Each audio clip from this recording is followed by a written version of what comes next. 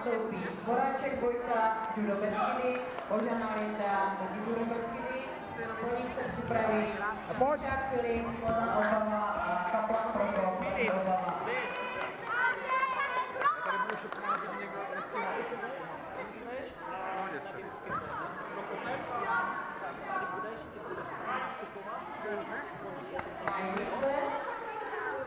skončilo utkání, ve kterém zvítězil Kurt Dominik